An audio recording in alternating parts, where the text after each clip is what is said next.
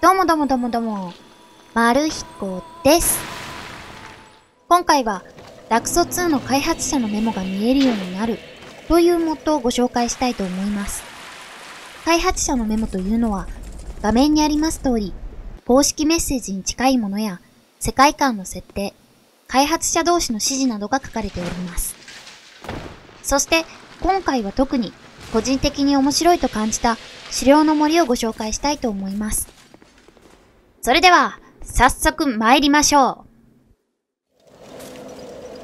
さて、それでは、資料の森を探索してみましょう。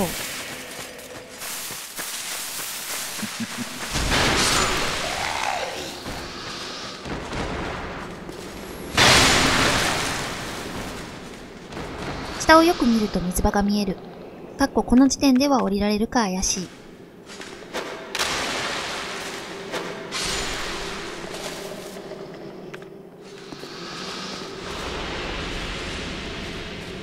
キノコなしで降りるとちょっとダメージを受ける。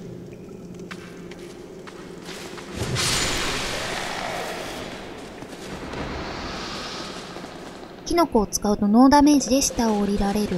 かな一旦先に下に降りたいと思います。バジリスクさんチース。ということで倒しておきましょう。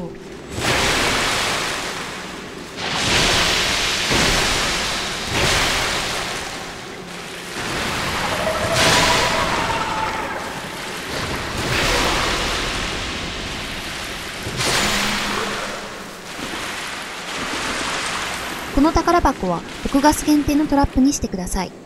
設定。ここに迷い込んだ牛をこの宝箱ではめて捕らえていました。城の壁に隠し扉があり、捕らえた牛を牛の回路に運んで、そこから溜まり谷や牛形状に運んでいたという設定。プレイヤーはその隠し扉から牛回路に抜けます。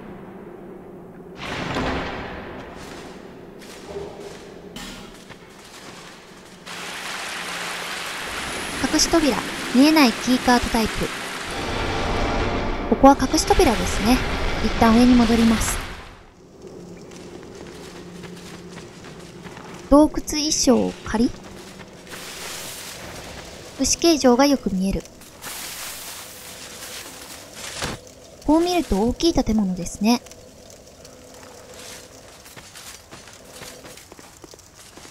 道が途切れているが、行けそうなところがある。牛の回廊。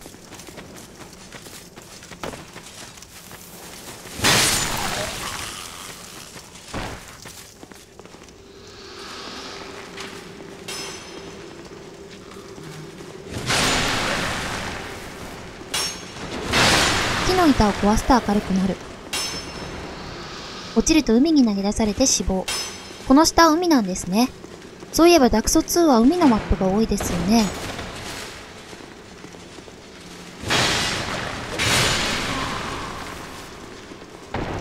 ちょっと敵が多いので処理しておきます。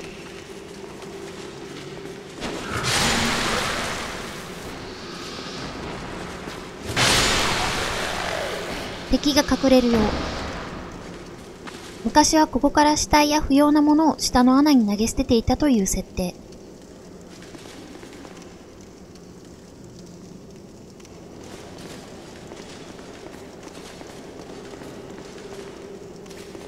いい感じのリフト。下で捕らえた牛を回廊に運んでいた。いい感じを求めた結果、牢屋リフトになったのでしょうか。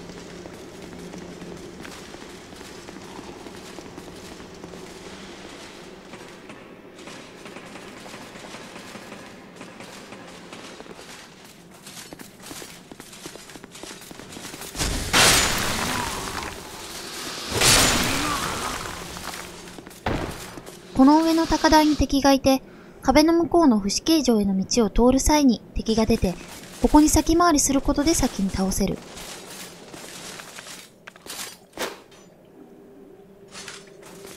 ここから飛び降りると、牛回廊入り口前に降りられます。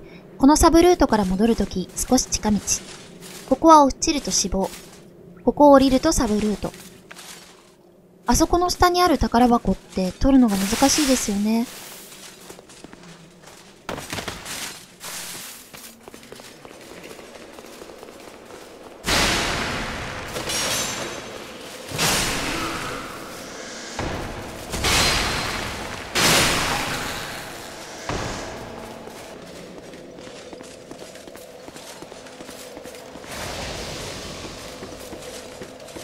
どうも、丸彦です。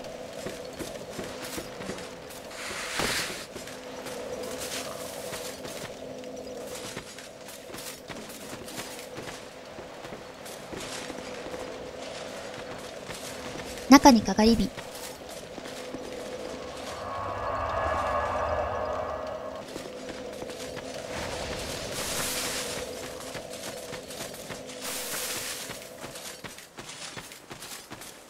ちらから牛形状への道はなくなりました。こちらからは登れない崖になっている。上からは飛び降りられる。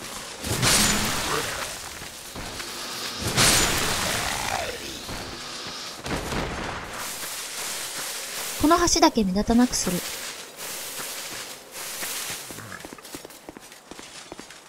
奥の可動橋を目標として見せる。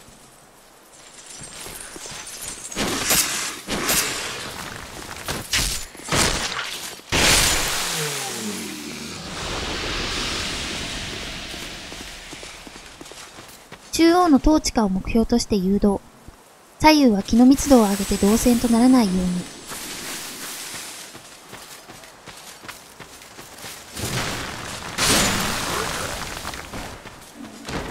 この統治下は目標役割。入り口は一つ中に敵想定。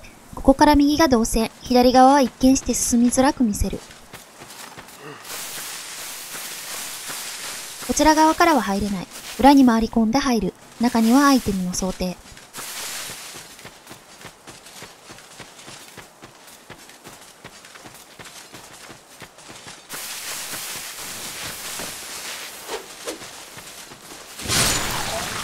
可動橋を動かすレバーのあるトーチか、視界には入れるが目立ちすぎないように見せる。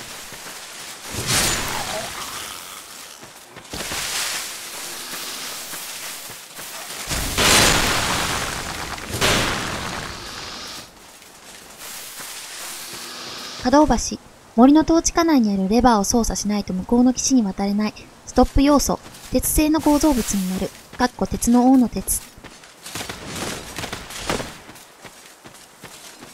牛形状への道。ここから先は今まで通り。ここの敵は厄介ですよね。素直に嫌いです。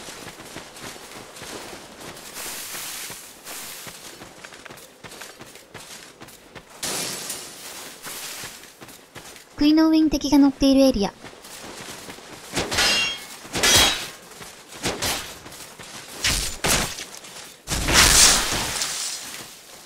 奇襲とかを狙っているわけではなく、敵の登場のパターンの一つとしてアクセント。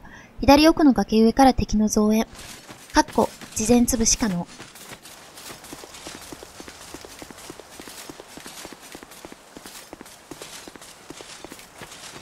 かがり火さん。独房の鍵、かっこ仮を入手すると入れる。暗闇洞窟の道。近道だが松明が必要になり、見るからに危険。ここから後半エリア。見るからに危険な2ルートからどちらを選ぶかは自由。崖際ルート。道のりが長く狭い足場で戦闘が多い。こちらも危険な道。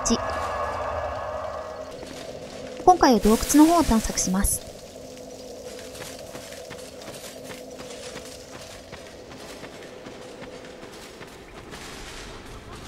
敵が収まるくぼ地、その1。誰もいませんね。松明前提の真っ暗部屋。暗い上に多少穴がある危険ではあるが、部屋自体は広いので戦闘はしやすい。この角の奥に待ち伏せしていそう。こいつのことでしょうか自ら向かってきましたね。崖側の道につながる橋、ショートカット開通前は、ここから崖側のルートに戻る。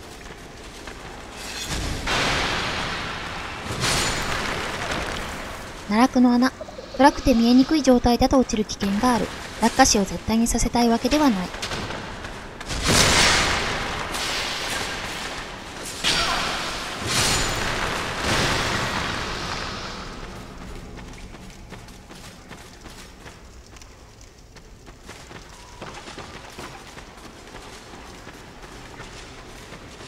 敵が隠れる窪地、その2。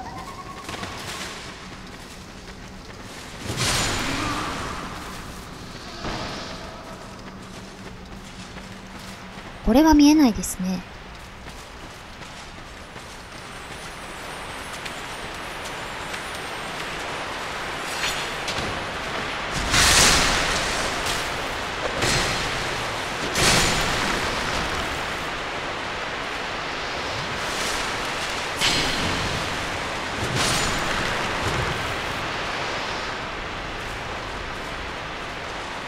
ジャンプで渡る足場。戻りもジャンプで戻るため、戻りの方が難しい。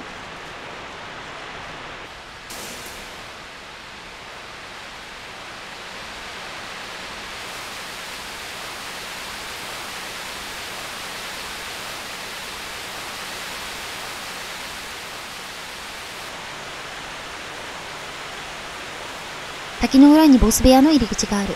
滝の裏に何かある？という形にする。滝の裏を見ると人工物が見える。この時点で白扉を見せない。何あるかなって近づくと白扉が見える。かつてはたまりの谷に奴隷を運んでいた。正規ルート、そのたまり谷への入り口。